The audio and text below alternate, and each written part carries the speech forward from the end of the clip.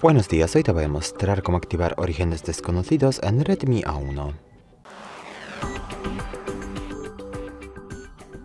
Para eso abrimos la aplicación Ajustes y aquí buscamos la pestaña Aplicaciones, la abrimos y luego más abajo buscamos la última opción uh, Aplicaciones con accesos especiales y aquí buscamos la opción Instalar aplicaciones desconocidas bueno, pulsamos la opción y aquí podemos dar permiso a cualquier uh, aplicación, por ejemplo al navegador.